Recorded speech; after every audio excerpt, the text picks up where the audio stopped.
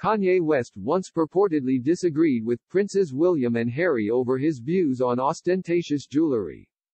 Kanye West, 44, reportedly disagreed with Princes William and Harry after they pointed out he was wearing bling when they first met.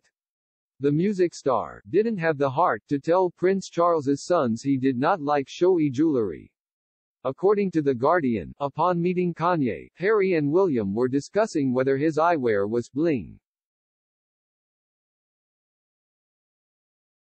The news outlet quoted Kanye as saying, one of the princes said, I thought those glasses were bling and the other one said it's Kanye West, they'd have to be bling. I didn't have the heart to tell them that I am the anti-bling. Kanye has recently been controversially embroiled in a public divorce battle with Kim Kardashian. The rapper and the reality star, who share four children together, have separated after nearly seven years of marriage. Kanye said he did not want Kim's new boyfriend. Pete Davidson, to see their children north, Chicago, Psalm and St. He also branded Pete a loser and called on fans to scream at the Saturday Night Live star if they saw him out and about. Kanye's public attacks on social media sparked concerns for Pete's well-being, with Kim asking the musician to stop putting Pete in danger. The conversation was made public in a series of screenshots of text messages shared by the Gold Digger star to his social media on Monday. In the snaps,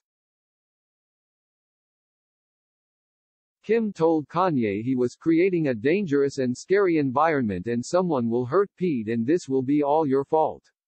The rapper replied, I will always do everything to protect you and our family forever.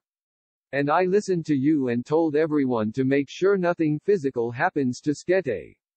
The post also featured a shot from the 2001 film Baby Boy in which Ving Rhames put Tyrese Gibson in a chokehold. Kanye captioned the post, Upon my wife's request please nobody do anything physical to Skete I am going to handle the situation myself. The scandal has led to scrutiny towards the former couple, with celebrities from all over the world publicly weighing in. Former Good Morning Britain star Piers Morgan hit out at Kanye for his vile behavior and admitted to booing him when he appeared at the Super Bowl on Sunday.